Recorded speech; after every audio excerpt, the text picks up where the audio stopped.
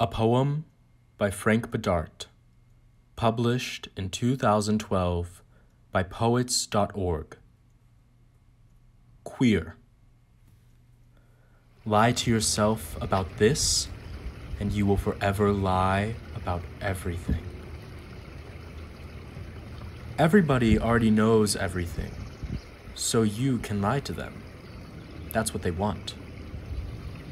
But lie to yourself what you will lose is yourself. Then you turn into them. For each gay kid whose adolescence was America in the 40s or 50s, the primary, the crucial scenario forever is coming out. Or not. Or not. Or not.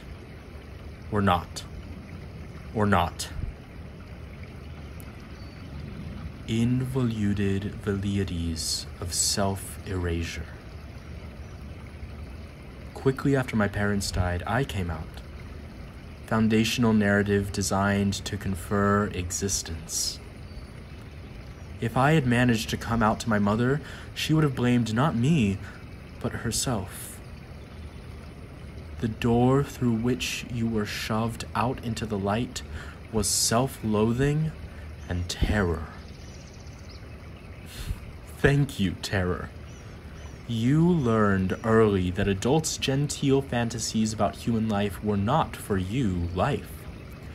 You think sex is a knife driven into you to teach you that.